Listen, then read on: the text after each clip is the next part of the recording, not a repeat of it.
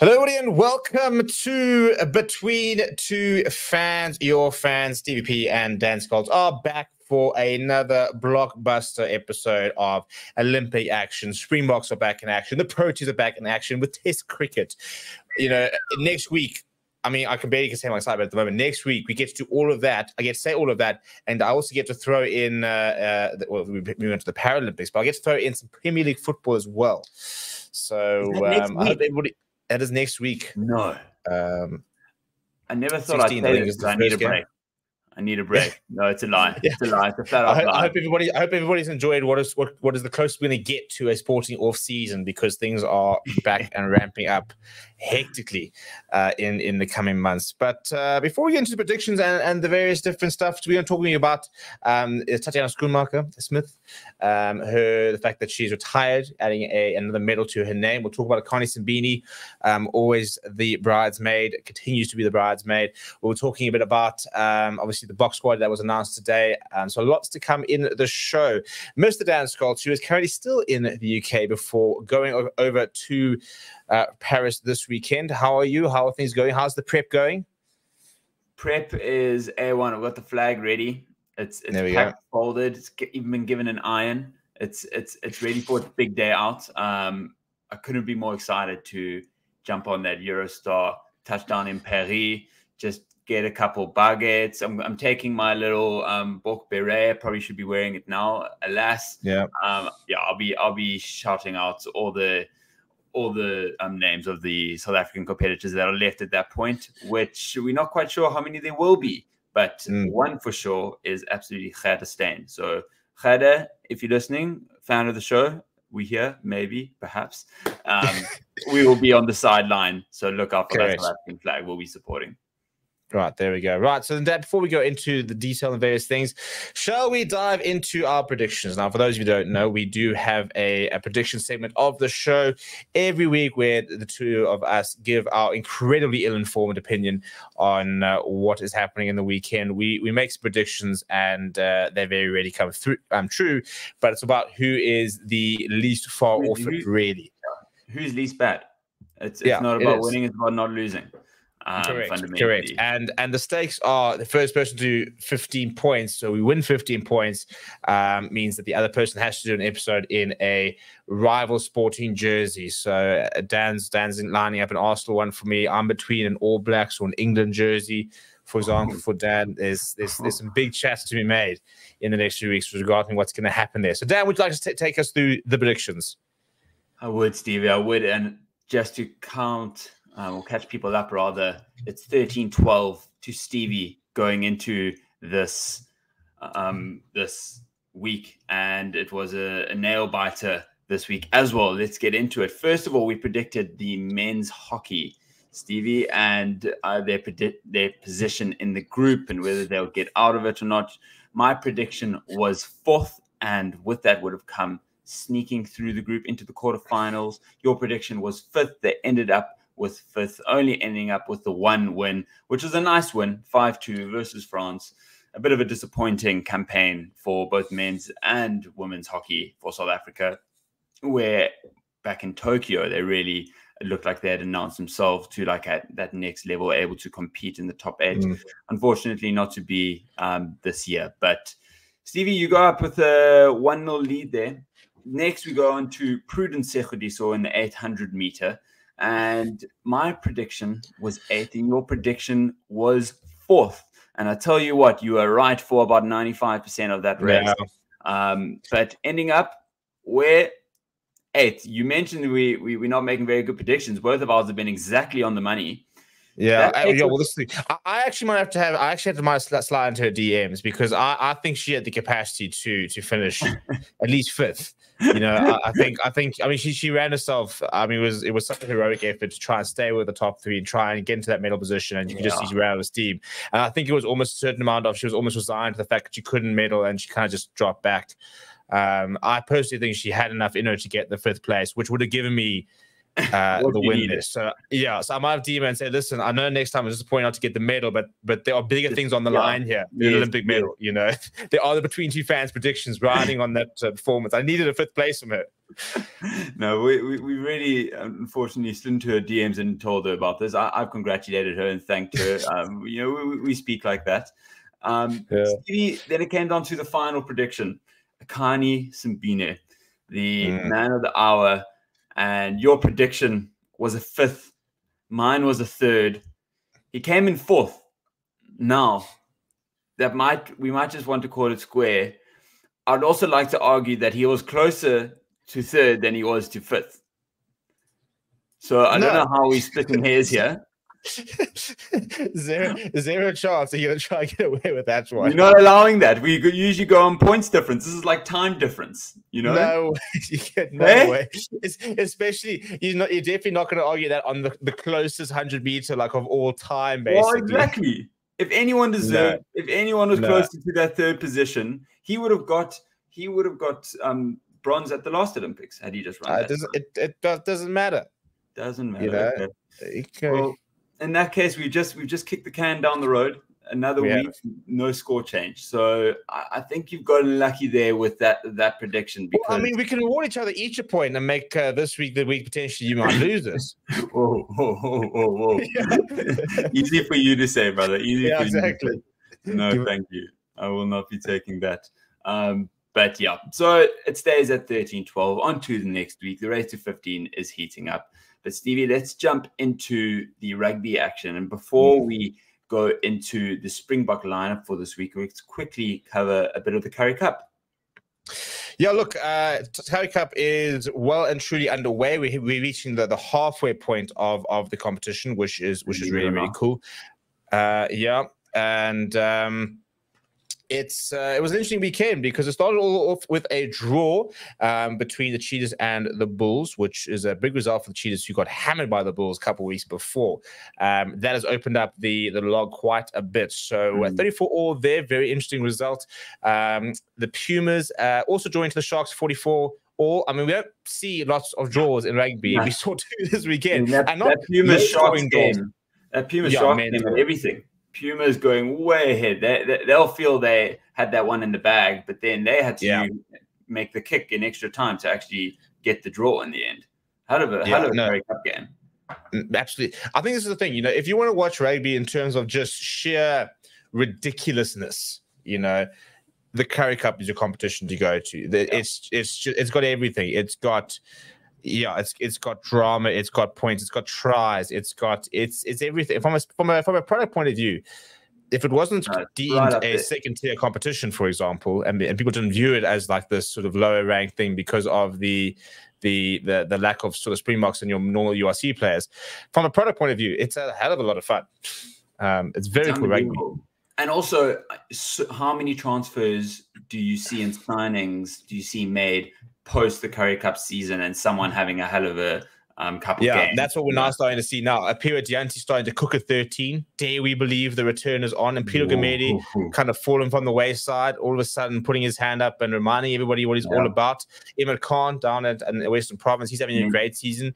Even the new names like um, Lorenzo, Julius Lorenzo. Yeah. So, couple um, under 20s putting their hands up. Yeah. Yeah.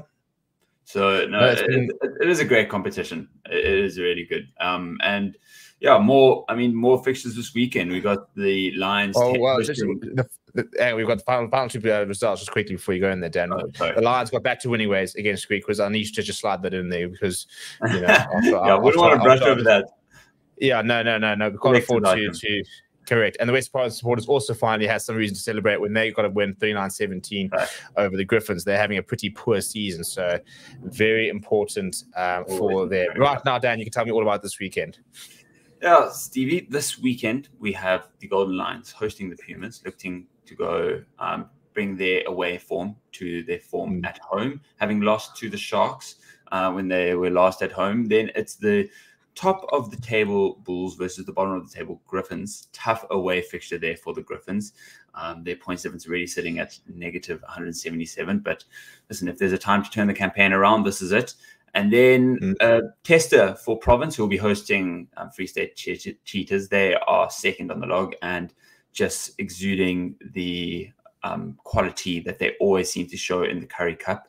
It's going to be a tough task for Province to keep them out. And then Sharks versus Griquas, which honestly could just be a roll of the dice, sitting in six yeah. and seven, not really um, looking all that impressive. But I think Griquas have always got a little flash in the pan, and and and you know they'll come at you for 20 minutes and all of a sudden score mm-hmm. three tries, and you don't know what's quite happened. So um, exciting all round, and it'll be interesting to see how this this log shapes up after this weekend. Yeah, I think the Griquas beating the Sharks in in in Kimberley, where the Sharks had uh, André Esterhuizen and Trevor Nyakane, Aphelele yeah. Fassi. So yeah, a lot for the Sharks team. They had all the Springboks. Yeah, yeah, yeah, exactly. So uh, we'll have Trevor Nyakane at their disposal, but um, we'll not have an André Esterhuizen and or Aphelele Fassi and the likes. So mm. yeah, but in terms of the log there, Bulls currently sitting top of the log with 21 points. The next three all tied on points actually with 18. That is the Cheetahs, Lions, and Pumas. It is done on points difference. Cheetahs with the 72 points difference. Lions 62. Pumas way back with 16. Uh, so in terms of points difference, Cheetahs and Lions sitting pretty comfortably above uh, uh, Pumas there. They've got 18 points. Then there's a five point gap between them and Province. Sharks down at 12. Griquas at eight, and Griffons with just the two points so far. So plenty of Currie Cup action. But the thing that we're really looking forward to this weekend, Dad, is the start of the rugby championship. And uh, yeah, we, we, we, and we, have got a lot to talk about when it comes to rugby championship. First, we've got a Springbok team to talk about, as well as the SANZAAR law variations, um, which are horrendous.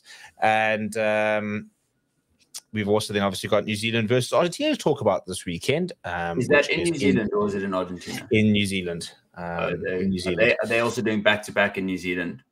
Yeah.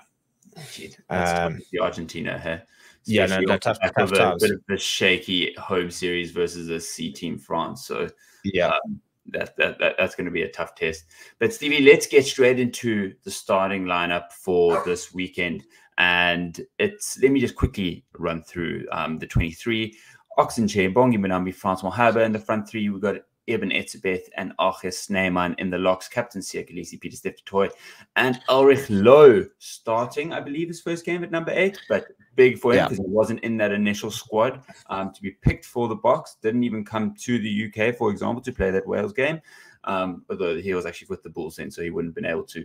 Um, nine Cobus Reinach, the experienced head with the new Sacha Feinberg-Mngomezulu 10, his first start in a Bok jersey. The usual wings of Kurt-Lee Arendse, Cheslin Kolbe, and the usual centers of Damian de Allende and Jesse Kriel with the another experienced head at the back Willie le Roux, who is back from his concussion. Stevie, let's start with what everyone is speaking about, and that's Sasha again. Yeah, massive, massive call. Um, I thought that we would see it at some point this year. I don't think too many people expect to see it now. Um, we know that Rassie Erasmus and I think particularly Tony Brown, they rate this kid very, very highly. Yeah. Um, he's the only player that's played every single match this year. He played against Wales, played against Ireland, played against Portugal. Um, so he's playing his fifth match for the Springboks this year. Um, and two months ago, he hadn't even debuted. He was uncapped. He's now starting a flower. And, and so never mind in the conversation to be a part of 23s regularly. You know, yeah, it's yeah. like he, he was a point. It's like Wales. Okay, cool. Give him his. He was almost a, he was almost a mm-hmm. surprise selection in in the initial big squad, Everyone was, like, hey, cool. Yeah, get him in so that England can't poach him, not because we want to use him right here, right now as our X factor player. Yeah, and, and, I think I think the main thing as well is you know is the injury of Dave Willemse. You talk about times, timing, and mm. certainly he provided he provided that sort of six two uh, versatile player off the bench, and then his performances since he's come on have and, and his performances in training have really impressed the coaching staff. And now they mm. said, well, hell. We, he has the keys, you know. You know, run it, run it against Australia and see what happens. And mm. you know, I think I think I read something like like Andre Pollard has played seventy one tests. I think this was only the seventeenth one he's playing off the bench. Crazy. You know, so one does not simply bench Andre Pollard. No. Um, and I think this is a really interesting dynamic because, first of all, we these two things we need to understand that he is a youngster. So look, I'm predicting a really good game from him this weekend. But if he if it isn't, we just remember that he is that he is that he is still progressing. But if he goes and has a great game this weekend, I finally feel we finally got a flyhalf who's really going to push Andre Pollard and just remind him that listen, you're not untouchable. Um, and I'm not to say Handré feels that he's untouchable, but he has been for the last, you know, six, seven years. Yeah. He's only never not been selected because of injury, you know. Yeah. Uh, and now you're kind of feeling that we, as we are as we start to extend our depth, we might have people who might push him and sit there and and say that if you're going to be all, all mm. form, we've got a genuine option yeah. available. Yeah, and, and, I think that comes with Sasha's boot, right? Because I mean, Handré still has the keys, it, it, and yeah. it will be his for as long as he really wants it to be. If we're being honest, for at least for the yeah. next three and probably next World Cup cycle, but you had the challenger in Manie Libbok, and it was a completely new 10 that a spring that a yeah. Springbok hadn't had. And, and Libbok had to do so much to actually earn the right for South African 10 to play the way he did. And he went yeah. to the World Cup and jammed. We all know his kicking woes have led to him falling out of favor in a sense that the, the, the trust isn't there for him to be the only kicker on the field at the time. Sasha yeah. does have that ability and contains the creativity that Manie also has. Whether he's a better 10 is another question. We've barely mm. seen Sasha at 10 at the Stormers. Yeah, at this we, level, yeah. So at this level, we, he's really going to be an anomaly. He's mostly played 12 and 15. So he played 10 coming through the ranks, SA schools, for example. So he's, he's going to be comfortable there, but it's different type of pressure at this level. And it's not a yeah. friendly versus Wales. This is the um, you know, this is the rugby championship, and this Bond Cup isn't just going there to not win. We need to bloody win this rugby championship. Otherwise, this year is going to be, I think, considered a failure. You know, not yeah, winning the Island Series, not getting a rugby championship. It's like, cool, you can go win a couple games up in North in November, but that doesn't define your year. This defines your year. So to be given the the reign on the first game at 10, ballsy call. I think that's what also why they've put Handré as backup, similar to kind of the World Cup. If things are going a bit south, listen, come off. We'll re- we'll look back at the drawing board and see what, what's gone wrong. Handré, you know, do your thing. Yeah, I think also importantly, Cobus like at nine, for example, um, Damian de at 12, Ivalulu at 15. He's surrounded by got, experience. by experience, yeah. I mean, the, the, the, the, least experienced player in the back line is Kurt Arendse and then Cobus Reinach from a cat's perspective. Like Cobus Reinach is 35 years old, you know, 34 years old. Yeah, so he's been around the block. He's played like three, 400 um, professional games. So yeah, it couldn't it couldn't have been said better for for a solid yeah. game from from Sash Famicom Zulu. Um, let's talk a little bit about the bench, I think, Dan, because it is a 6-2 split, but no lock on the bench, which is a big call. Uh, so the bench is Malcolm Marx, Gerhard Steenekamp, Vincent Koch, um, which was kind of um, expected. We weren't sure if Malcolm Marx would be fully fit, but he's been cleared to go.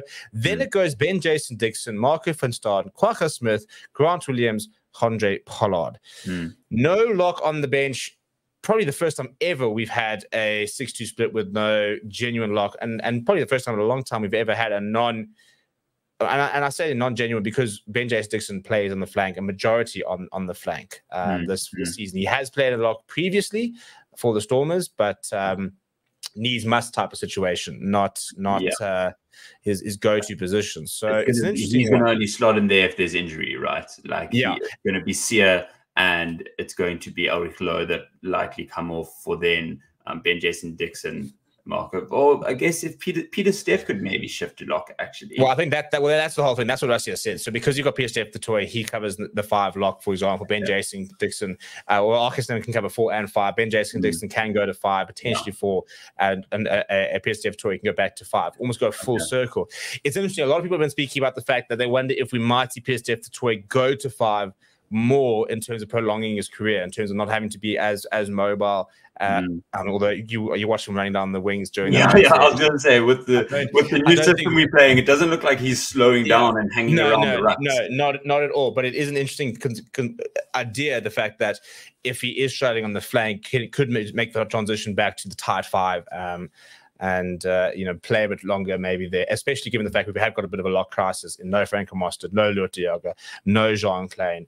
Um, you know, we are missing a, a lot of our, our, our, players there. Um, but it's an interesting one in terms of, I mean, the three big breakdown threats and Malcolm Marx, Marco van Staden, and Kwagga Smith. Uh, Smith back to the bench, you know, arguably the best impact player in the world last year, the way that he used to come on and, and affect games. So kind of going back to that um, that sort of tried and tested formula. Mm. Um, and then Dan Grant Williams, somebody who I think a lot of people wanted to start. I can understand, and uh, but I always keep saying Grant Williams has traditionally never really started. He started one game for the Boks, he lasted two minutes. We all kind of know what happened there, yeah, if if if that. But we've always kind of gone to Cobus Reinach as our starter when Faf de Klerk's not playing. Um, I think Grant Williams is a phenomenal player. I think he's been playing brilliant rugby. But I think in this situation, I think it's the right decision not to try and start Grant next to Sasha, for example. Um, instead, you could have a Grant coming on later next to Andre Pollard. Um, yeah, that that, think, that 9 10 combo is so crucial that you yeah. don't, although you have, you can have ex- arguably the most important link in the in the in a whole team, and to throw well, Grant Williams, you know, he's got a bit of experience now, but not with starting as much. And then even yeah. the pick of Mona van der Berg, like you're throwing two things that are that are very um, you know, unknown on the international stage at this stage. Um, uh, in together, you just don't know how that's going to work out. So you'd rather just go with the tried and tested World Cup, double World Cup winning Cobus Reinach, and then be able to, you know, then pair your more inexperienced Grant Williams with Pollard. Yeah, I think so. I, I think I, I, overall I agree with the squad collection. I think it's very exciting. I don't think there's too many issues we can we can find with them. It's a great pack, two really good front rows. It's got the impact. It's got pace. Um, there are lots of injuries in that uh, that Aussie camp as well. So we'll talk about predictions when we get there. But I, I think we've probably got enough uh, to to get over the line. Um, the question for me, Dan, is is you know, New Zealand's traditionally, and apparently even some people are, are, polling them as favourites for the Rugby Championship, which is a wild shot. Um, let's talk about the Rugby Championship and New Zealand versus Argentina and Australia. How do we see this all going? You know, we don't really know what to expect from Australia. We've seen po- very positive signs under Joe Schmidt, but very mm. early days. Argentina, as you mentioned, a shaky home series against uh, against France. They are under new uh, coaching as well in uh, Felipe Contepomi taking over. Mm. I mean, New Zealand beat England, but I think England messed up a massive opportunity for them to to have actually gone and gotten the job done um, against New Zealand, especially in that first yeah. test. So, yeah. how, do you see the whole rugby championship going? I think we'll figure out where teams are now, as we mm. mentioned in previous podcasts. We've only we've seen the North Northern Hemisphere play each other, so we kind of know how they are. And we, we we saw glimpses of the Six Nations of a very good England side who beat a very good Ireland side at home. Yeah. Then we saw now like the north south. You know, they saw we saw us play Ireland drawn series. You know, France versus Argentina. France B team. It was a drawn series in the end, but kind of licking your wounds still a little bit if you're Argentina. Mm. And then and then New Zealand, a brand new New Zealand taking on England, getting through but leaving holes and cracks in the door that could have been easily exposed and exploited by the English had they been a bit more clinical. So it could be a completely different conversation. That in of itself might be papering over gaps that the New Zealanders have made, although now at least they'll have the confidence of maybe knowing that they haven't played that well, but still getting over the line, which is what has had become so synonymous with every New Zealand team we've seen over so many years. You, it's the classic, you know, 60 minutes up, they're looking nowhere and they just mm. get it done. I think Australia, they, I mean, if you talk about a team that's really we're at the bottom of you know where they could have ever been after that World Cup, that's exactly where they were. Joe Schmidt managing to get three out of three results, albeit against you know a bad Wales team and. Georgia, mm-hmm. who were positive but not enough of a threat. I think they've yep. been able to just just stop the boat from rocking a little bit and give a couple of their players just start and almost enjoying their rugby. So now it's going to be like, okay, you've had, you know, uh, two rel- relatively undercooked teams that you played against. How about yeah. the world champions? Correct. Correct. No, I agree. I think it's as it for us, it's ours to lose. Um, and I think the, the point you make, of we're going to find out where they are now. That that I think that exactly. You know, we've got an incoming series, outgoing series, are very interesting ones because you're playing against teams that might rotate. For example, in the case of Argentina versus France, a Wales side going through a whole transition. So I mm. think that Wales side will be competitive in a couple of years, but yeah. we all know they're not quite where they are. So, you know, the best sort of only two I think opponents who were settled were England and Ireland, and we saw how close those sort of series were. Um, mm-hmm. But Dan, let's talk a little bit about the, the about, about the rugby championship because SANZAAR has introduced four law variations. Now, let's go through. I'm, gonna, I'm just going to kind of brush through the two which aren't creating too much of, of, a, of a hype. We'll talk a little bit about the one a bit more. But first of all, let's talk about if a ball is not straight in a line out, um, but the other team doesn't contest, play on. Yay, nay from you? I can see there be they're going to be loopholes soon. We don't know yeah. what they are yet, but something's going to happen and be like, okay, no, we're going to have to make that rule back. So I within yeah. a year, that rule is going to be gone. I think they'll have, probably have to try and talk about you know within a within reason a margin sort of thing like a you know a half a meter or whatever you know you can't just almost throw from here to the fly half yeah. Yeah, you know yeah, um so i think that there'll, there'll need to be a um It'll be fun though. People will get creative in the first year for sure. Yeah, that's the thing. So it'll be interesting to see how people interpret that. I think on the base, I don't really mind it. I think if you don't contest, I think you forfeit the right to to have the turnover. You know, if it's slightly skew and you didn't contest, then I think it's well, then contest next time. You know, that's the the reason that the the ball has to be thrown in straight is so that when you contest, you have a, a chance of getting it, a reasonable chance. So if you're going to, um, if you're not going to contest, for example, I don't don't mind the fact that you forfeited the chance of, of the turnover. I think the big thing is obviously within reason. You know, no one's no one's going to have an issue if you know the number two jumper goes share the front of the lineup, it's slightly skewy, comes down, and we play on. The issue, mm-hmm. as I said, comes when it starts becoming a bit extreme and they start finding um, yeah. those loopholes. But that's the least controversial of all the laws. Uh, the next one is protection of the number nine. Uh, you cannot be within a meter at the ruck, similarly at the maul. But the big one's for the scrum, where the opposite number nine can now go only go as far as the middle of the tunnel. So they basically have to be behind, in line with their props or the you know, the heads of their props, or else they have to retreat to the eighth man, or else that they retreat the full five minutes and join the, the defensive line. Um, so an interesting variation that this might promote, for example, people are saying that now allows the um, the, the the team with a put-in to go to the boot, for example, off the back of a scrum. Mm. You know, you're traditionally never going to box kick off the back of a scrum because the scrum is right on you. Well, now they're not from eight as well. So yeah, so exactly, and I think for me, the reason I don't like this rule is we're talking about depowering the scrum. We'll talk a bit more about that. This for me, you know, takes away that that that that the difficulty of a scrum of having to get the ball out of the scrum when under pressure. You know, when you've got that that scrumhalf bearing down on you, that ball that you're having to go dig for, you know, the scrumhalf's there waiting to try and do it. The, the, eighth man doesn't know if he can pick it up or not. You know, you've now got that clean opportunity as an eighth man can clean pick up, for example, and go. You're not going to have number eight on you. The number nine's not going to have to contend with the with the opposite number nine. So I think that for me as well, I am not a massive fan. Um, I don't think the scrumhalves need much protection. At I, I think it's one of those laws where was it really necessary? Um, yeah, I don't watch rugby. It hasn't really been a, a, you know a reason for it. The scrums get penalized when they're going too early and they yeah. you know, they're trying to jackal the ball. It just kind of removes that extra layer that scrumhalves always have that is just pissing off everyone else. You know, being in places you feel like they shouldn't be in. Yeah, yeah which is, for I mean, me like half the fun about a scrumhalf. Yeah, exactly. It, it brings you about know? that that Faf de Klerk personality of I'm gonna just get in the way. You know, I'm gonna shoot up. I'm gonna I'm gonna be the person that's in your ear, breathing down your yeah. neck.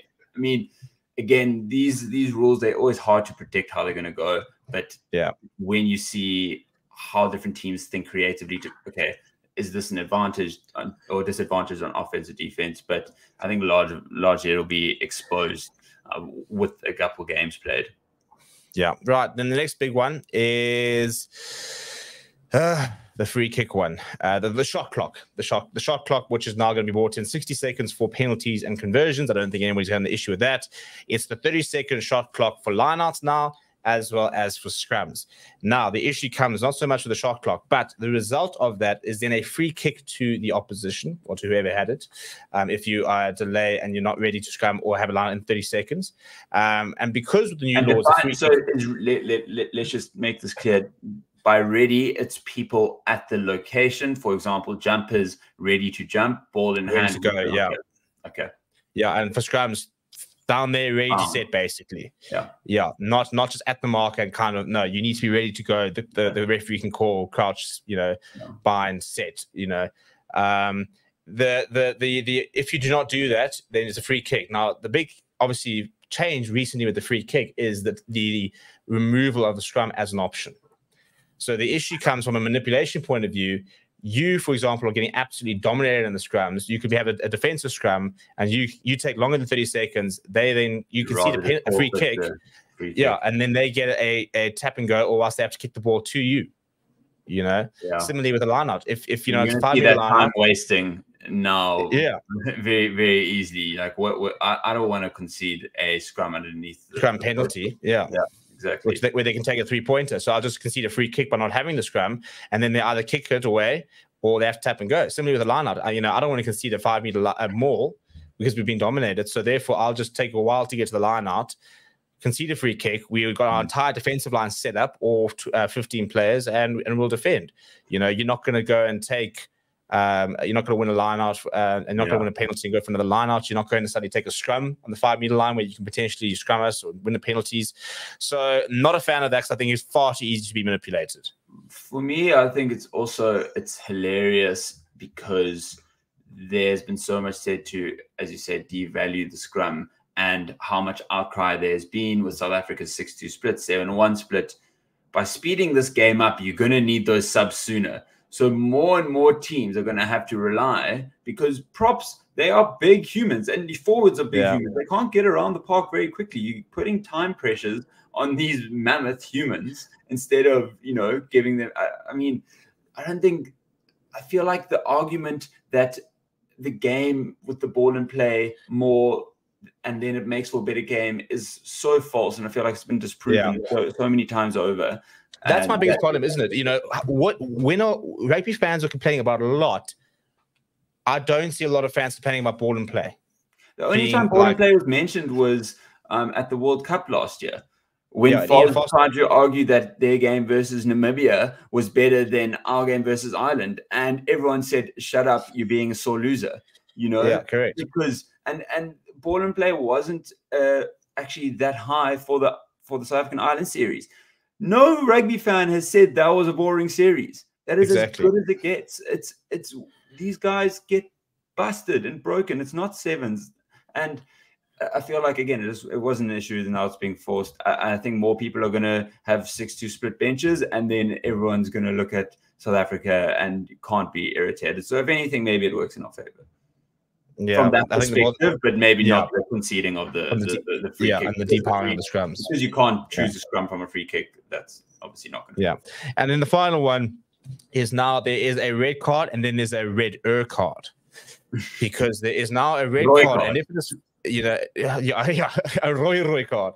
Blue Uh, you know, uh, literally, because there's now two different yellow red cards, and yet it's the same red card. Where a red card, or a full red card, is what they're saying, is if it is found to be deliberate and dangerous, stuff like that, that player will be removed from the field, and the team will not be able to replace them. If it is more on the sort of the accidental side, for example, or no foul play or no serious foul play has been committed, then it will be a 20 minute red card where the player will be removed for the entire match, but after 20 minutes, they'll be able to replace them. Once again, can we just leave the red card alone? In my opinion, can we just it? It's why are we complicating this? And even with this, if you're gonna do this, surely you, you introduce a, an orange card. How can we have a red card, a full red card, and then a a, a, a semi half? I mean, so what? Does the, does the ref fold in half when he does it? I mean, what's what's going on here? Yeah, it's, it's a bit confusing. I feel like the bunker was kind of getting figured out, and uh, despite the I think reaction to like that André Esterhuizen recent one, from South Africans. I yeah. do think that mostly sense prevailed and that was a red. So, by the letter of the law, Stevie, in that scenario, Andre Hazen is then being replaced in 20 minutes, correct? Um, I think so. Well, if, if they judge it to be accidental, for example. Yeah. Um, and, and, but know. I think so much of red cards come down to malicious, which is where it's confusing. There's, I feel like there are very few, or Eh, or maybe, maybe it's actually not. Maybe it's, it's because of the head contact. It, it, it used to yeah. be pure militia. Now now it's just head contact. So I think maybe that's what they're defending against, right? Is the André Esterhuizen scenario when he's got it all sorts of wrong. He hasn't meant to do that, but he's lined him up and he hasn't gotten yeah. the right body position. And essentially, and, what they're saying is, okay, we'll give you 20 when it's a rugby incident, we'll give you 20 minutes off and yeah. someone else come back on. But when you have spear tackled someone and put them on their head, off you go. No one yeah. which very rarely happens actually. Yeah, well, I think that's the thing, and I think the main thing is that red cards are supposed to be a a a a a, a cause to try and prevent you from doing things, and it's about behavioral changes. So it's not about chastising Andreas. I'm not, not saying that he went there and he had the intent of harming and he wants to go and absolutely decapitate the Portuguese player. The red card is to sit there saying, you cannot go upright into a tackle. You've got to get the tackle low. That's the whole point of this. You're supposed to be adjusting player behavior yeah. and adjusting in the game to make it safer, which is why, yes, it's a rugby incident, but it's a preventable rugby incident because if he goes lower, for example, and he makes a tackle below the chest, then that doesn't happen. Yeah, for me, um, I, mean, I, I, don't mind it so much. I just think two, 20 minutes is too short if you're doing this. Make it 40 minutes. You know, if it happens in the second half, you're done. Then uh, if it happens in the first minute, like it did for Andreas Days, and you play a whole half without without that extra player, at least I think uh, to to make teams feel, as you say, to make it the action preventative from happening again, then you need to have serious consequences. And I don't think 20 minutes does that. Well, my biggest sort of argument that it doesn't do that is just look at you know New Zealand uh, or Super Rugby, you know, which we know has got the worst possible reputation when it comes to never handing out red cards or yellow cards when it comes to some seriously hectic foul play. And then they've got the and then they introduced a 20 minute red card, and things got even progressively worse. You know, with where there's just been very little change behavior. The final because their captain got a red card. Yeah, correct, correct. Um, so yeah, no wonder they're they're, they're in favor of a 20 minute red card because then in that situation, Sam Cane probably would have been able to be replaced by 20 minutes. But speaking, so so so everywhere, those are little variations. We can't speak too much about them. We've got so much to get through. Because speaking of captains, um, one Siyamthanda Kolisi is on his way back to South Africa. Um, thanks to uh, Fabrizio Erasmus. I mean, it's comical. You don't see this thing ever; these, these things ever happen, eh? And no just press conference. Uh, Rassie, what's the story of the rumors of maybe Siya come back? Oh yeah, no, he's coming back. His agent has been calling me the whole time, trying to um, help facilitate the deal. Yeah, the Sharks are speaking to him, and he'll, he'll be back soon. It's like what? Yeah. This was a rumor, like an unfound, like you know, no one had really had you know solid grounds up until this point to continue to speculate, other than what was as yeah. literally just in the room. Well, from that to you know, head coach of the Springboks jumping in and, and exclusively saying like outright, yeah, no, it looks like yeah. it's happening. And and I've been I've been a part of this process. And so it looks like Sorry are gonna have to pay a part of his, I don't know, is it a buyout clause? Dude, I, yeah, I mean, well, I think it's I don't know if it's about buying him out of his contract type of thing. Because the problem is Racing put up 17 million rand last year to buy him out of the Sharks contract. Yeah, yeah, yeah. You know, so there is kind of the matter of of that. Now you probably find if Racing would probably take a similar amount of money and just say, basically, pay us back the money that we pay for you. We had a season, cool, yeah. call it quits, bugger off. You know, our owner evidently doesn't like you, thinks you're fat, whatever. Um, but they're certainly not going to just let him walk away for free. You know, you don't, you don't, you don't. It's not exactly a small amount of money that you just go, ah, what's seventy million rand? You know, for um, for for a caliber player like Siya Kolisi as well, you're also yeah. losing the player as much as he the player and the marketability of the player, the profile of the player. I mean, that's the big thing a lot of people talking about. You know, it's that you're not just signing him as the player. The Sharks are getting a marketing dream. You know, you slap him every single poster far and wide. You know, you, it's it's there's a massive part of that. Uh, just in terms of the actual move, I don't mind the move. Um, as long as personally for me, I don't think Rugby should be contributing anything towards the move itself. If they continue, I mean, obviously he's a, he's a, he's a player of national interest, so they contribute towards a salary. Continue to do that by all means.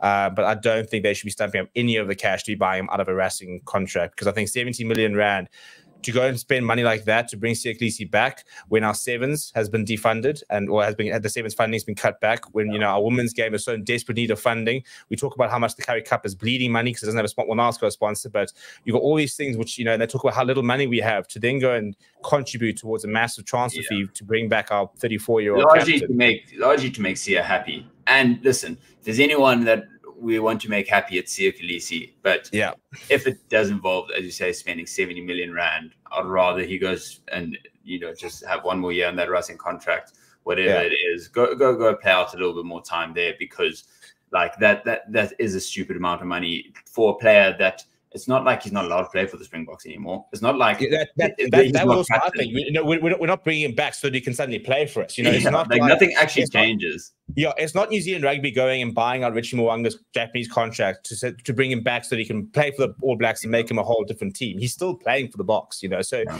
from a Bok perspective, and you know, nothing changed, which is why I think from an SA rugby perspective, holistically, nothing's really changed by him going overseas. You no. know, um, sure. So that's a big story. Another big story is um, the uh, Allianz, which, uh, for those yeah. who don't know, is what uh, Twickenham is going to be called.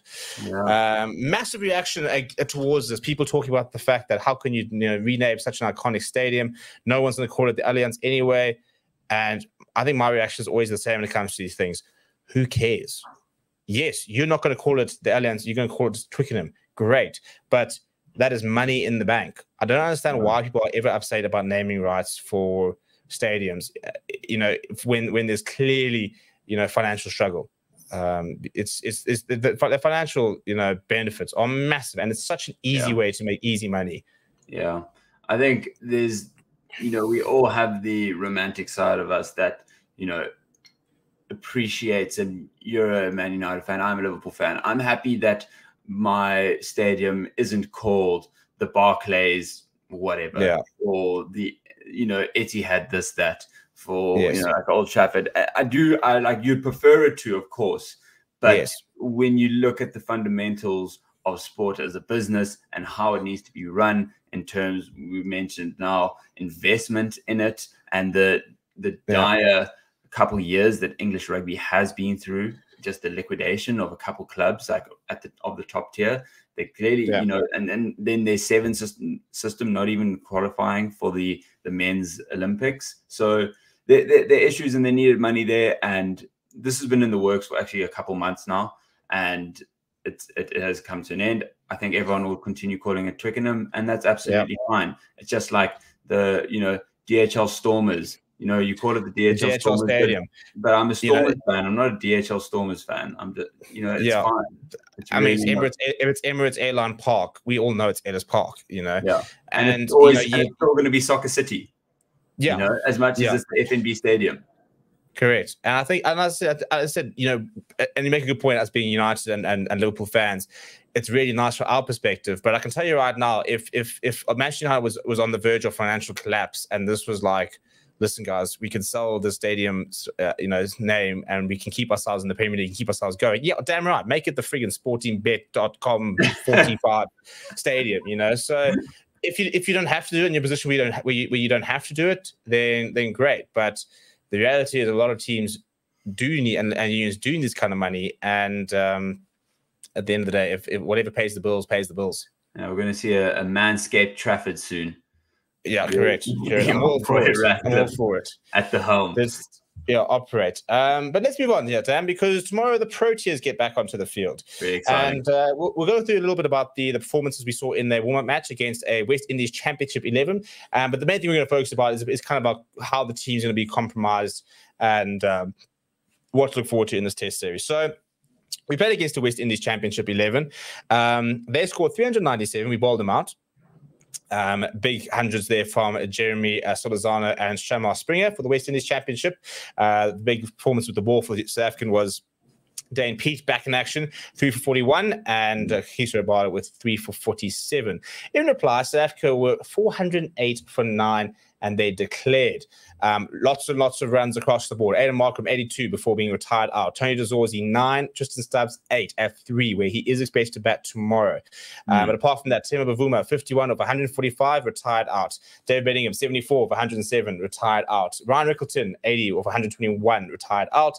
Kyle Verreynne, 65 of 103, retired out. Wiaan Mulder not out with 17 or 51. Keshav, 11. Uh, Matthew Breetzke five, and Nandre not out, but then we declared. So de Zorzi, Stubbs, and Breetzke not getting runs. Everybody else in the runs, which bodes well for uh, mm. uh, for the series. And then in reply, West Indies were 46 for four um, before the draw happened. Lungi Ngidi getting three for eight. Big for um, Lungi. It, huge for Lungi. So the question then is, is Dan, is that we've now got to pick a team. Now the predicted team um, well, I've put together, I've thrown together, I, I, took a predicted team and I've changed what I think it's going to be. And I'm going to read it out and see if you have any changes and we'll talk about it a little bit. I've gone Aiden Markram, Tony de Zorzi up top. Tristan Stubbs at three. This, by the way, is not what I want to happen. This is what I'm predicting is going to happen. Okay. Um, Tristan Stubbs at three, Tim Bavuma at four. They're betting him at five. Verreynne at six, wicketkeeper Wiaan Mulder at seven, Keshav Maharaj at eight, Dane Piedt at nine, KG Rabada at 10, Nandre Burger at 11.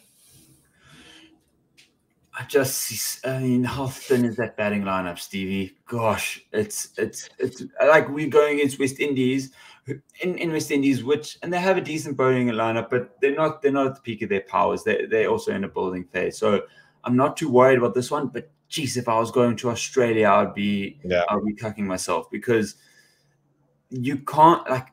I just don't think Verreynne can be a six. That's far too early. He's a he's a he holds the bat decently, but at test level, he's yet to be proven. Not with a you know an unbelievable technique to the eye. Not that always necessarily defines one's test career. Just look at Dean Elgar, but I think you're probably right. I think this will be the team. What I would probably prefer is a if you chuck in that extra batter, you you mm. know of of Rickelton, I feel a lot more solid. But I understand why they'll go for this team because they want Wiaan Mulder to be there so desperately. And please, can this be the last opportunity, Stevie? I mean, I know you love the guy. Hey, hey, hey, hey, I know hey, you're hey, hey, boy. 17 but... not out. He's just come off like a gold season for exactly.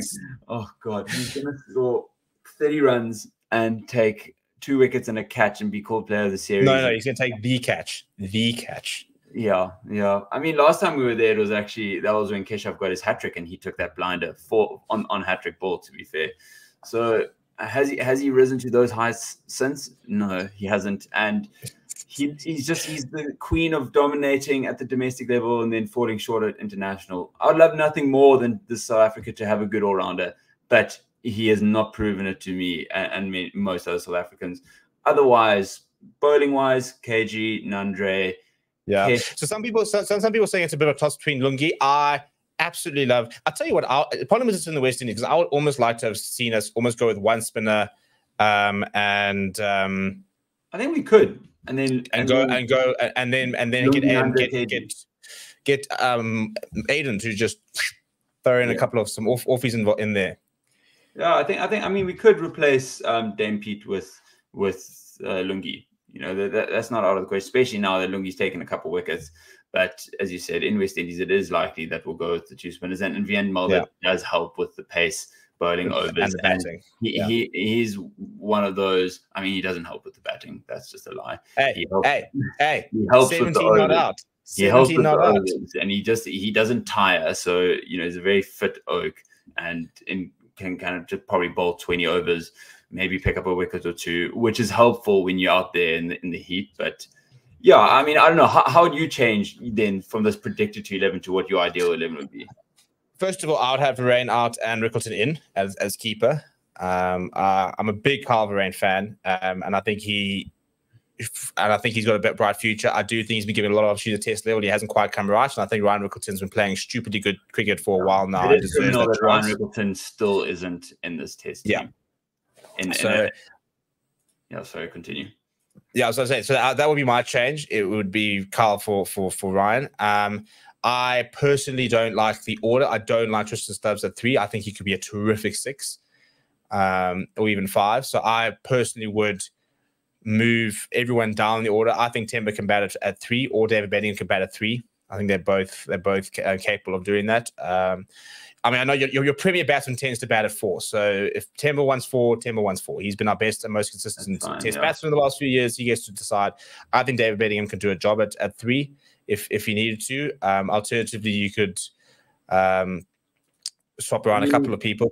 But I think yeah, yeah. If you do go with Markram as a genuine bo- genuine bowling option, you could drop Wiaan Mulder and chuck Ryan Rickelton at three and move Stubbs down to six. Then yeah, and then have and, and, and keep Verreynne as keeper. Um, exactly. Or you or you keep Wiaan Mulder and you and or you, you probably drop Dane Piedt because I think you probably still want a third. Can't drop Wiaan Mulder. No, never. There's not. No, well, are you, are you, are you, are you gonna have you your, your two two two seam options, no, two no. spinners? If you know if if if there's an injury to a seamer, then you've got your seam attack or Wiaan Mulder no, for sure. But then that's fine. Else. I don't mind Wiaan Mulder coming in at at um eight I don't mind that. That's okay. Listen, after this, after the series, Wiaan Mulder's going to be coming out at four. We're going to have our Jacques Kallis replacement. He's going to bang two hundreds, and it's going to be problem solved. Yeah, well, we'll know a lot more by this time next week. So you know, it'll be interesting. It's good, just great that Test cricket's back. I'm super excited to be able to. I mean, it's going to be super early. I have to. Yeah. No, it's not too bad. I think, I think I think tomorrow starts at four o'clock in the afternoon. Oh right, it's the afternoon. I read four. Yeah, it's, it's, it's, the morning. Read, yeah. It's because it's because when the World Cup was there, I, I remember the trauma of waking. Well, it wasn't trauma. It was a great day waking up at 2 a.m. for Afghanistan. Yeah, those, so those now, were the good ones, actually. Who would have thought that waking up early in the morning were actually the, the fun times? Yeah. It was that bloody four, it was that final that started at four o'clock, which was the issue. Yeah, no, but I, I've got my time zones all wrong there. Okay, so it's afternoon. Oh, that's delightful. That's that's yeah, no, it's phenomenal. It's it's clock off work settle in and watch yeah. test cricket the entire evening. So to the wives and girlfriends, you think they're coming home after the day to spend time? No, you know, like trade transition. Correct, correct. It's just yeah. So it starts at four o'clock tomorrow afternoon. Um, should be an absolute delightful test. Dan, we have still got Olympics into our last few days of the Olympics, and then the Paralympics gets underway, which is actually where we thrive. We do a lot better in the Paralympics than we do in the mm. Olympics, uh, traditionally in terms of our medal count. But we have had a very interesting last week. Let's just go over a few of the results, and then we'll sort of dive into a couple of the, the key stories because there's a lot to talk about. Mm. Um, within the last week, Tatjana Smith, first of all, adding to her medal count, coming agonizingly short from going double gold. Get the silver though in the 200 breaststroke, her preferred event, but does become the most successful South African Olympian ever. Two golds, two silvers, the undisputed goat as far as I'm concerned. Um, and then announced her retirement. So we'll talk about yeah. retirement in, in, in a little bit. Um, she, by the way, raced next to Kaylene Corbett in that final, which was good to see. Pieter Coetzé, another uh, African record in uh, in this was the 200 backstroke. Um, so Mr. Drip King is, uh, is is is still operating a big big talent um, for for the next Olympics. Um, we've also that was yeah correct the whole works. That, that um, for me, that's been the best. It's been the best part of this Olympics. Although the the medal count hasn't been quite as high as we probably would have wanted. Um, a lot of these athletes are breaking PBs, and you yeah. whenever that's happened, you just can't ask anything more. Fair enough. Yeah, well, that's this the thing. Like, you know, Pieter Coetzé, fifth fifth place African record, his best ever swim, for example. We're speaking about Akani, but the same thing, you know, his best ever run. And, yeah. you know, when you give of your literal best ever and you still come up short, then you know it's it's one fine. of those things. There are levels to the game. You know, it wasn't the case of you didn't choke in inverted commas, you didn't just not perform, you perform, but there were just somebody better, which exactly. happens. That's kind of the Olympics. But I think generally it's been a little bit disappointing in the pool. I would have liked to have grabbed another medal there. I think Pieter Coetzé coming so short twice was was was agonizing, especially when you mm. watch the 200 meter backstroke, and he was probably the fastest. You you talk about straight line speed in Formula One. He was the fastest, I reckon. You know, during the lap, but his underwaters and turns were what let him down. Similarly, actually with Tatjana, she, every, single, Tatjana. every single time she she yeah. turned, she had to make up that ground.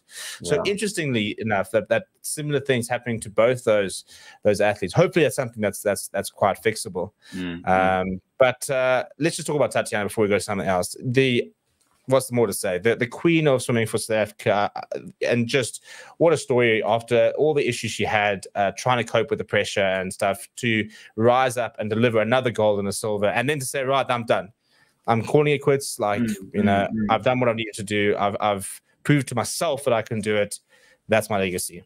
For sure, and there's something that's so special about the Olympics is that people will become an overnight success, which is exactly what she became for yeah. large part of um, the followers of the Olympics. She no one knew, really knew who she was before Tokyo. And then she went gold, silver with a world record, and all of a sudden she's the golden child of South Africa. You know, she's everyone's demanding a, a side of her. She mentioned how she yeah. really struggled with that. Didn't really want to get back into the pool, as many swimmers go through, including the likes of Michael Phelps coming back, getting the gold in where she where she plays silver, and then silver where she plays yeah. gold, and honestly, just hanging her head up high. She couldn't mm. have been proud of herself, which is actually what you really want to see. And it would have been tough. Of course, she wanted to get that last gold to to sign off, and actually her preferred event. But you can understand, like, uh, to for, for then to for her to have the level headedness just to say, "I'm happy. Yeah. This is my career. It's done now." I can, you know, I think she, I mean, had she come last in that race, I think she would have been fine. She had made peace. So, you know, she is she, yeah. and the best Olympian of all time, equal medals um, with Chad le Clos. Chad. more more golds, two golds for Tatjana. I was one busy battling like load shedding over here. Demand. yeah, I see that. Um, but yeah, some also some good results, decent results across the board as well. Although no more medals after that Mm. one from Tatjana. The golf we had um, Bezuidenhout coming 16th with a negative, uh, a score of nine under, and Van Rooyen Mm. coming 17th just after him with a score of eight under. We have uh, in the 400 meters, we have um, Zakithi Nene and Lythe Pillay, who both in the, and I always butcher this name, the repechage, Reper, repechage, repechage, Repechage. You'll get there eventually. Repechage. Okay, I think I had it. Repechage race after not Yeah. initially qualifying in the heats.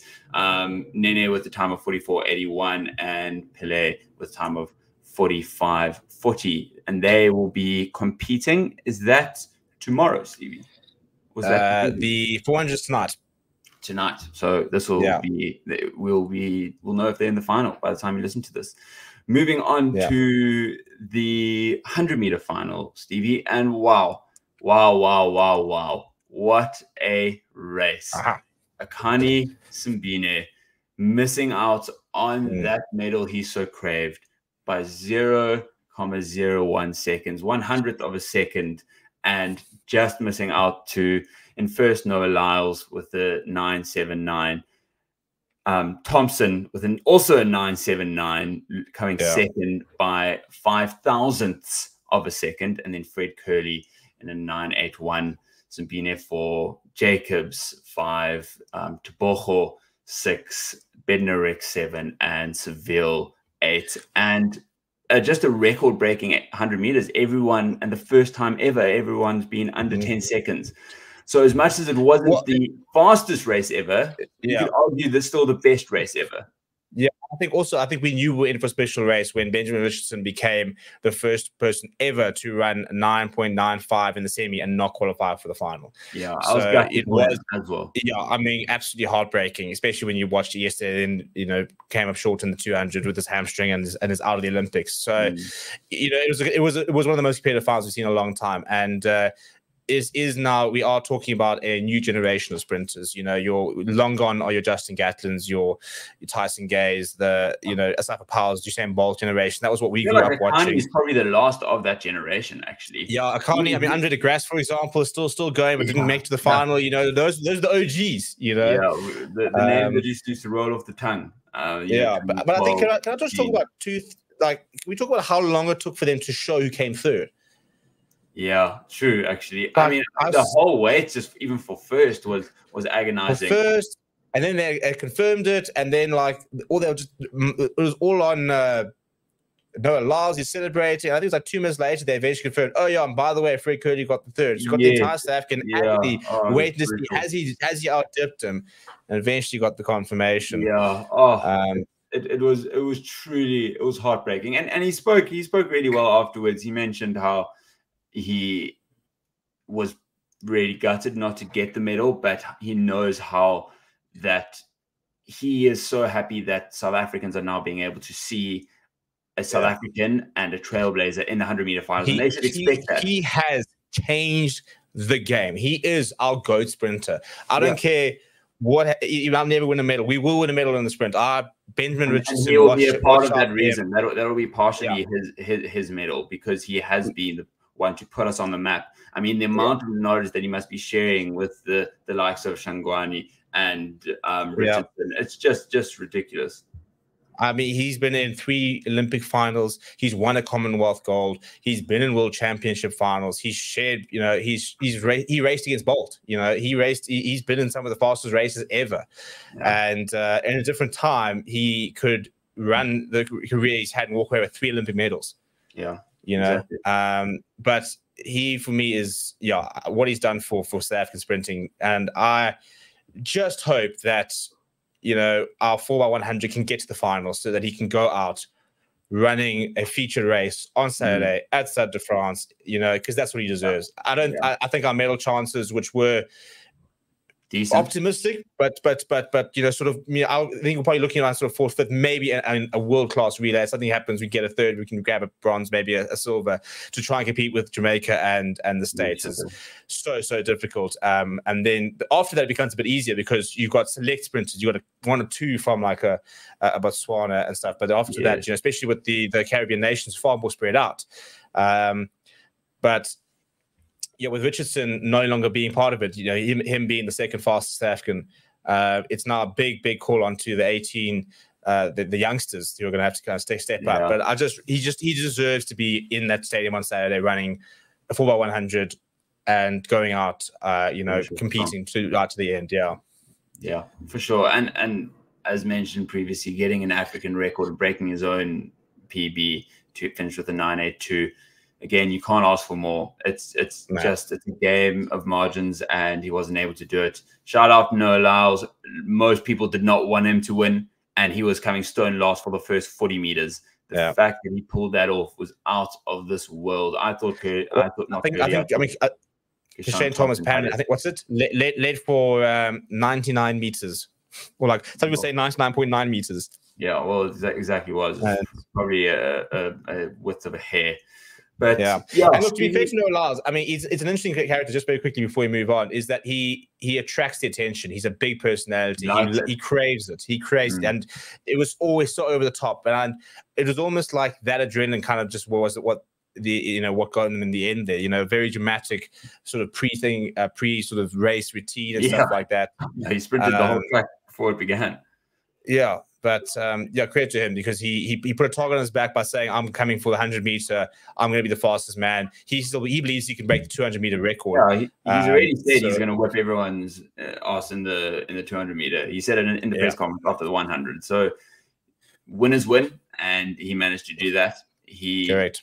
talk shit if you back it up. Simple as that. Yeah, and and he did exactly that. Bang so, body, chat you can get banged. Exactly. exactly. Uh, but on to the 200, which was yesterday. And as you mentioned, the big news was the unfortunate hamstring, what looked like a hamstring tear by Benjamin Richardson. He finished the race, in fact, which is very valiant because many would just step to the side. But he is hmm. now out for the rest of the Olympics, and that'll be a, a tough road to recovery for him. And, you know, really mostly because I think mentally feeling like he's done so well and still not making yeah. that final, you can feel a little bit hard done by for him. And then, you know, looking set to qualify for the semifinals, you know, he still has the whole 200 meters to go and in the 4x100. Really, his games was just getting going. And with his form, he could have, you know, gone on to really do anything. And that was him announcing yeah. himself to the world. And it's, it's a pity that's been cut short. So, unfortunately, he's out for not only the 200 but the rest of the Olympics. But um, big moves from um, more uh, from Shaun Maswanganyi and Wayde Niekerk, who both qualified for the semifinals. Wayde with a 246 and Sean with a 220 or 2020, sorry, 2046 and 2020. Um, yeah. So both going through. And fair play to Wayde, he was pulled in and told he was gonna, um, you know, replace Mkola Adams big story. And if he had gone out in Heat One, I think it would have been a, a lot of mm. um, attack against the selectors. But he's backed it up. He's gone to the semi. I mean, the final might be a stretch, but as you mentioned previously, he might be called upon in that four by one hundred. Yeah. I hope so. Um, I think, from what I understand, the injury now run under 10 before. He's run under ten before. He is. He has. I think I actually looked at it earlier. He is our I think our fifth fastest under 100 ever. Um, he was the first man to run um, I think he was the first one to run sub 10, 100, sub 20, yeah. 200, and sub 44, um, 400. And then yeah. came so close to that sub only, 43. The only so, issue is the lack of prep, right? He was going to run the 400 up until two weeks before the Olympics. So his body yeah. is not sprint, and he was always going to run the 200 as well. Yeah, well, it's, it's an, it's an interesting one. You know, I'd love to know, you know, did he decide to pull out the 400 because he just decided, but you know, he just wasn't going to be competitive for the 400 and he felt he could be more competitive than the 200. I, I'm going get the feeling that that was kind of maybe where he felt he was like, listen, I just don't have it in me for the 400, but I reckon give the 200 a go. Um, well, so we'll, we'll, the relays. Yes, so there is a heat on Thursday. Okay, I'll get us in. Okay, that's gonna be that's gonna be tough. So just heat straight to final then, no sense. Heat final, yeah. Okay. Or at least that's just two more races then for him. It's not. It's not possibly. Yeah, assuming more. if he does get roped, in, by the way, that's not confirmed yeah, just yet. confirmed. So we'll, we'll wait and see. But Dan, let, us just go through some of the other stuff. Uh, we are. Um, we have cut a lot and uh, got a lot to get through very quickly. Um, but uh, Prudence Sekgodiso um, came up a bit short. We mentioned it a bit earlier. Very nice run from her. Um, she will be back, which is the main thing. Only Um, so it's- years old. She's got so yeah, much. in exciting time. So Prudence, and uh, if you're watching this, shout out to you. Um, looks like she's really also enjoyed her time in Paris, which is good to see. People mustn't just go there and become a bit of a hermit and wait for their race. Go out, live it, experience it, Mm. understand what it means to be an Olympian. Go to 2027 and go forth and and charge for um, a medal. Um, as mentioned, we've got uh, uh, our 400 meter runners um, in tonight, um, but the rest of the the week looks something a bit like this: Andrew Birkett and Hamish Lovemore into the canoe sprint semi-finals. Um, so we'll wait to see what happens there. Zane Geldenhuys and Miguel Joseph into the 400 meter hurdle semi-final, and Miranda Coetzee breaks her personal best um, with a 50.66 um, in the 400. So that's kind of boding quite well for our mixed for for our 400 Mm. um, relay, which yeah, not sure what we'll have to wait and see what the chances are with them, but they're not. Um, they're in with a shot, I think, if they if they all were, and, and they're all starting to peak nicely. You know, Nene and uh, Lythe Pillay both came back and getting into their semi-finals. Yeah. Uh, hopefully bodes well. Um, we've got golf. We've got uh, Paula Reto and Ashleigh Buhai tomorrow. Watch out for Ashleigh Buhai. She is a major winner. She's won the British Open, uh, the Women's Open. Uh, she's currently ranked 56th in the world. Um, we've got uh, women's kayak singles 50 me- uh, 500 meter sprint tomorrow. Esti Olivier and Tiffany Koch. We've got Mel Janse van Rensburg in the uh, men's boulder and lead, lead semi final for sports climbing. Uh, tomorrow we've got Brian Raats in the high jump, which is very cool to see uh, a South African high jumper. High Not jump. really a medal contender. He's got the worst PB in the field. Um, his PB is 226. Quali- automatic qualification to the final is 229.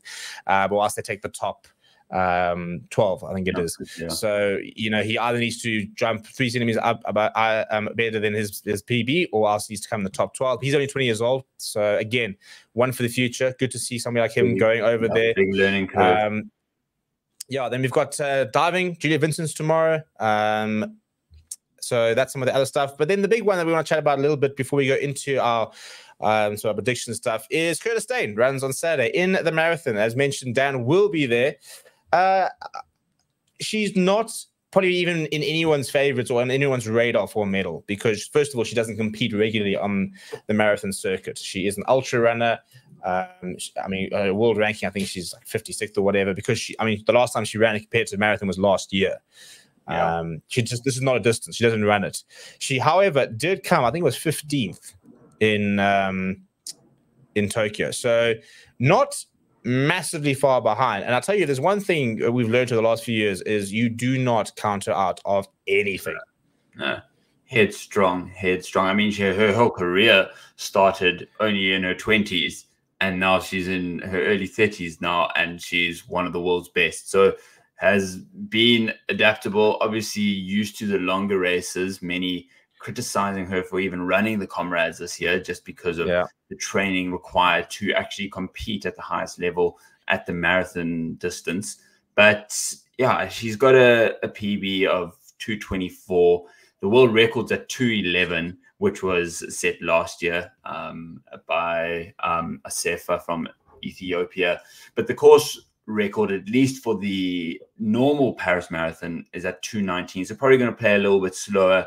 I think, you know, if she's sitting between 10 and 20, I think that's really solid for her. I would love Yeah. a top 10. That would be unbelievable. Um, but, you know, in, in, in around that 230 mark, which is, you know, let's just sit back and also realize how bloody quick that is. It's it's Yeah, I know, it's ludicrous. These these what these marathon runners do. All of these runners, but uh, the, the endurance sports um, particularly. So, Gerda, I'll see you out on the side with my South African flag and beret. Look out for me. I'll be cheering you on. Maybe even giving you a little push just ahead from a top ten finish into a, a, well outside the top ten into the top ten. Yeah, no, I think I, I back her. Um, so then, Dave, we had a couple of things we want to speak about. I think we have got a bit over time, so we'll, we'll maybe address a couple of other things. So the last thing we want to speak about is probably the the story of the Olympics, and that is this very dirty river Yeah. um, in the River Seine. Which, uh, by the way, I was just watching the the the the, the mixed relay yesterday for the triathlon. But uh, a week ago, we spoke about the triathlon. Jamie Jamie Riddle and uh, Henri Schoeman in particular, both those two putting in very good performances in the men's triathlon.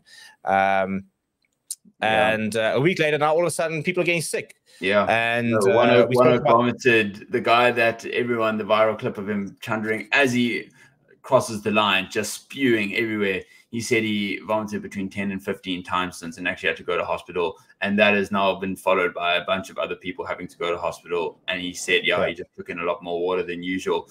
And no surprises, there is E. coli in the water. And yeah, it's it, it can't come as a surprise. And it's just a, a shame that they, it just seems it was so audacious which you like, but you have to back it up if you're doing something like this. You can't yeah. put in Olympic athletes. You know, so, some of these people also might have more than one event, and now they're you know yeah. not, not sick, not not able to compete. So it, it's just a, it's a bit ridiculous that it got to this point, and it is very very unfortunate. I think the main thing is we kind of went well. We knew this was going to happen. Yeah. From the from the first postponement of the men's triathlon, this was not a if; it was an inevitability. Yeah. Um, and I mean, some people are calling this uh, not the first incident that's, that Paris have had. It's an interesting Olympics because a lot of people haven't liked it because a lot of things have happened, weird things. Um, we've had the boxing controversy, which we want to speak about. We'll speak about that yeah. next week uh, and stuff like that. But you know, it's it's an interesting Olympics because it has been so phenomenally picturesque that the photos and the moments have been so phenomenal. But there actually have been a lot of controversy in these Olympics. So I think maybe next week we'll have to do a, a sort of a wrap up of the five weirdest stories of. Uh, of Paris 2024 because there have been some bizarre moments. Um, yeah, yeah, no, for sure, Stevie. I think let's let's just while while we've got, I think this is the, the very topical uh, right now in the boxing. So let's quickly cover it because we don't want to be uh, skirting around. I think we'll know the results of the boxing after this week, but obviously it's the big controversy of DSD, difference in sexual development athletes, uh, Lin Yu Ting from Taiwan and Imane Khelif from Algeria, competing in the boxing. Imane Khelif's opponent from Italy pulled out after 20 seconds and uh, resigned from her match. Why it's controversial is because now everyone, not everyone, but a large portion of the world have jumped at it and said, How can you allow transgender women pre with that being previously biologically um, male sex and now changing to women um, to compete in the women's category.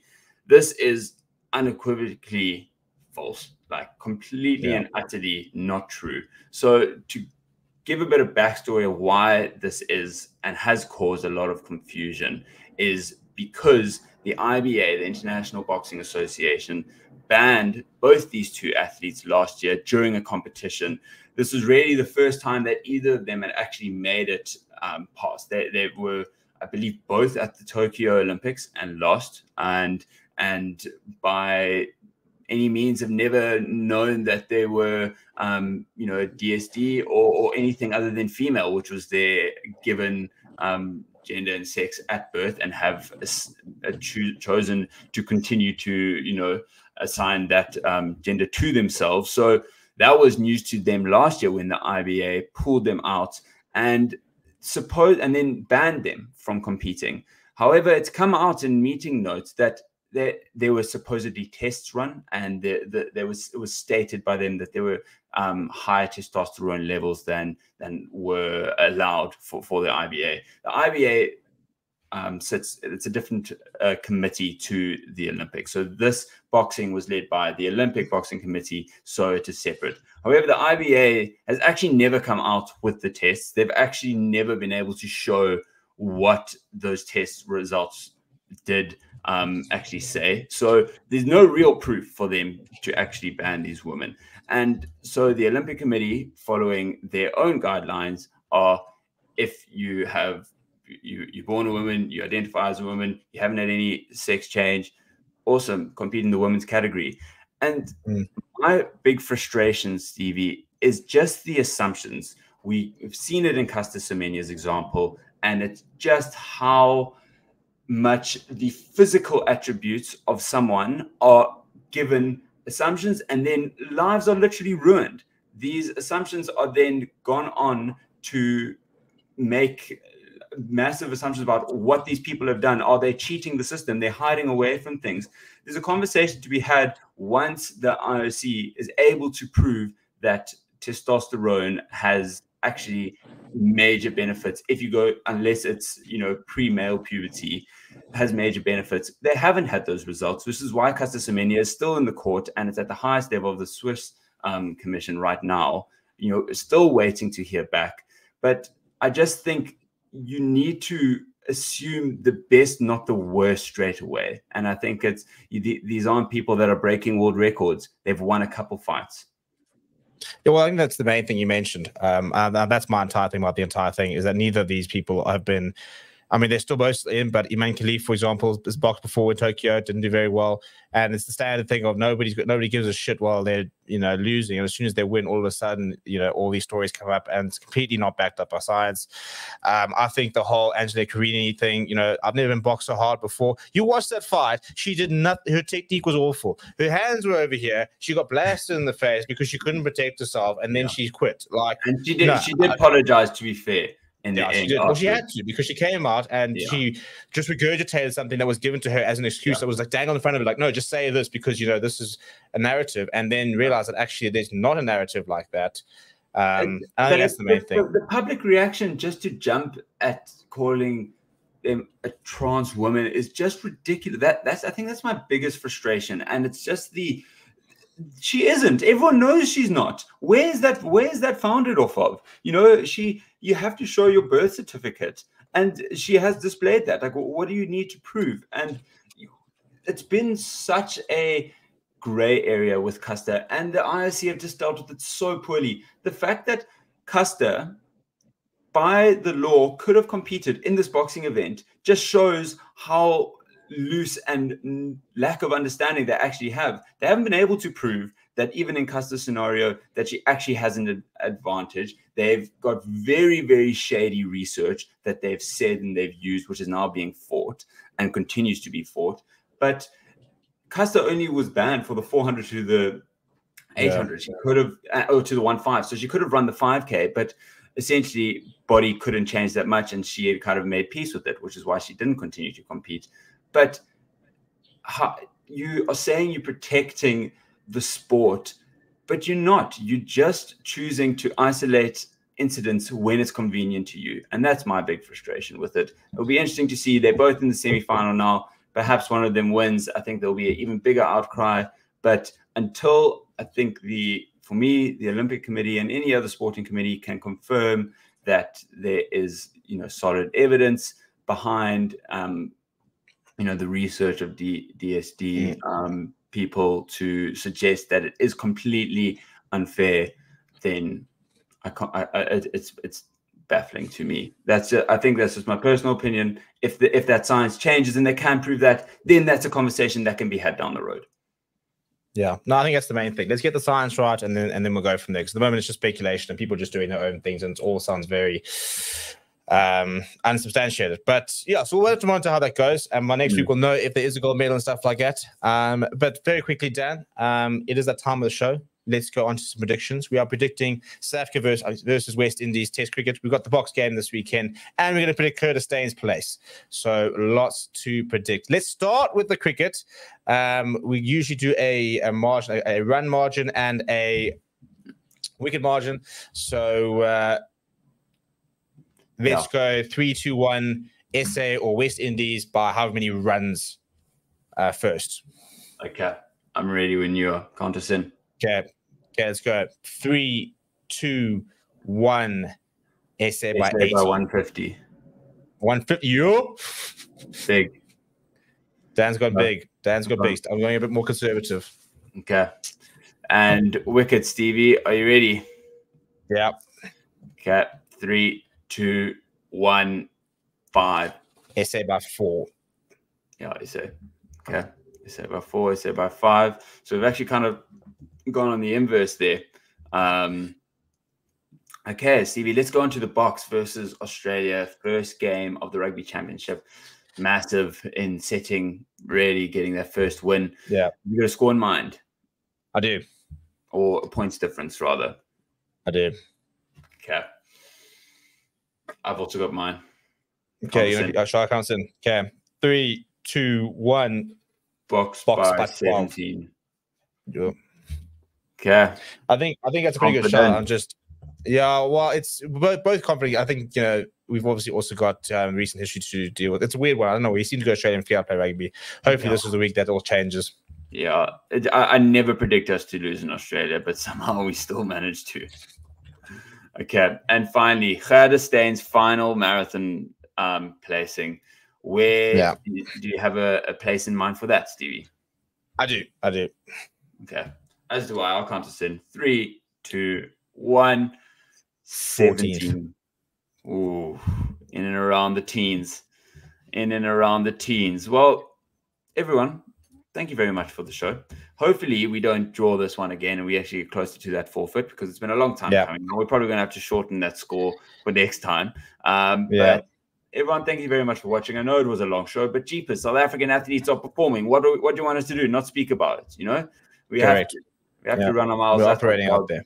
And I hope you enjoyed listening. Please do smash a like on the podcast, the video, wherever you happen to watch this, and share it with someone who you also think will enjoy it. And by doing so, you will grow South African sport and its reach and investment and things you love to see isn't it? 100%. Cool. Thanks, Dan. Everyone else have a great weekend. Enjoy the mock game and the rest of the Olympics as well as Test cricket. And we'll see you guys all next week.